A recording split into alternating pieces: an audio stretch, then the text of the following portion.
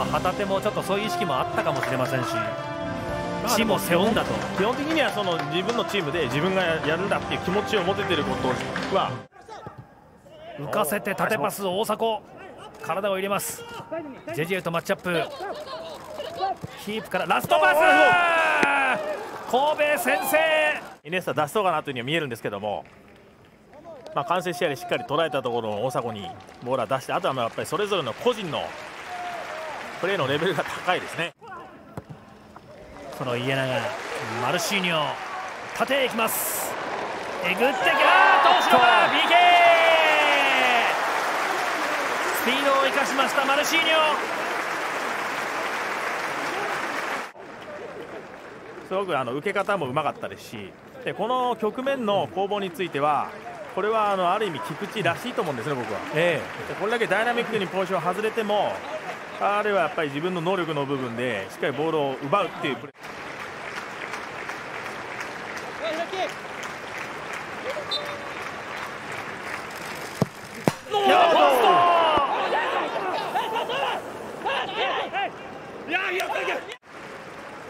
インターセプト立花だ、はい、ハンドじゃないかと PK 折り返し手で処理をしました。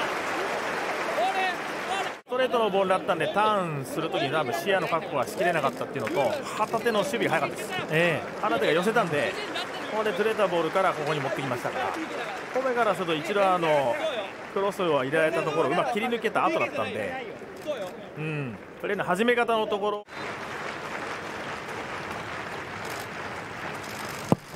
正面追いつきましたフロンターレ1対1三浦監督交代の決断もしました。佐々木大樹、準備中です。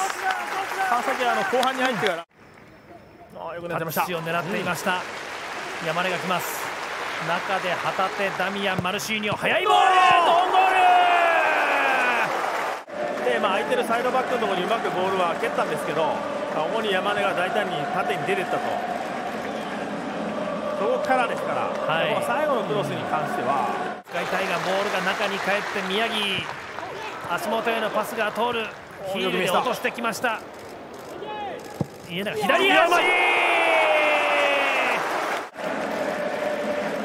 ャンのボールがずれたんですかね、えー、からショートカウンター。ヒールで渡してあげて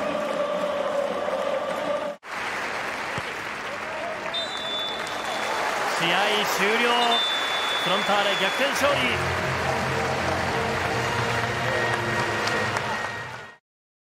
サッカーを愛するすべての皆様へ。J リーグはお客様にスタジアムで安心安全にご覧いただくために新型コロナウイルス感染症予防対策を徹底しております。これからも皆様にスタジアムで全力のプレーを熱気を臨場感を一体感を感じていただくために J リーグは対策を徹底します。スタジアムでお待ちしています。